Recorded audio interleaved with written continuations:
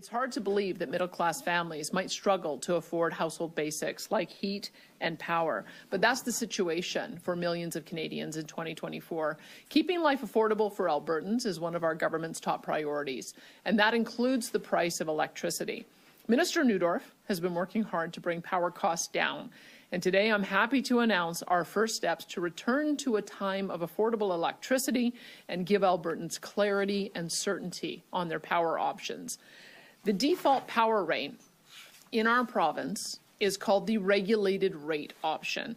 And when Albertans go to sign up for their electricity, more often than not, they're automatically enrolled in this option. The rate ad adjusts every month based on what's happening with electricity prices, and that means price volatility and price spikes. Since the regulated rate option is the standard rate for households who aren't signed up with a competitive power retailer, a significant percentage of Alberta families, businesses, and farm operations get their electricity this way. But calling it the regulated rate option is misleading. It makes it sound stable and predictable, when the truth is it, it is exactly the opposite. Encouraging Albertans to get off the regulated rate option and choose a more affordable and stable rate. And tens of thousands of Albertans have switched so far.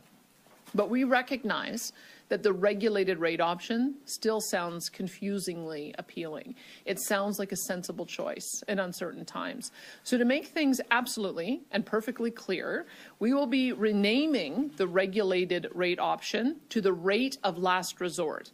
We think this will send the right message to Albertans that this is the rate to sign up for only when there are no other options available. Because Knowledge is power, and Albertans need to know their options by requiring power providers uh, to inform their customers exactly what rate they are on and requiring providers to give Albertans information on how to access the utilities consumer advocates resources, we are ensuring that Albertans can take advantage of the benefits of our province's unique deregulated market. Somewhere between 600 and 700,000 Albertans were on the RRO last summer, and they only realized it when they started getting bills that were multiples time higher than what they were expecting and then it was too late for them to change. This would soften that impact and, again, better inform them of what rate they're on.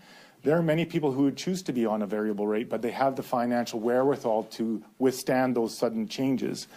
Uh, there are many on the RRO who don't have that ability. So this is, seeks to pr protect them, as we think we need to serve them better by allowing them more options uh, within the default rate.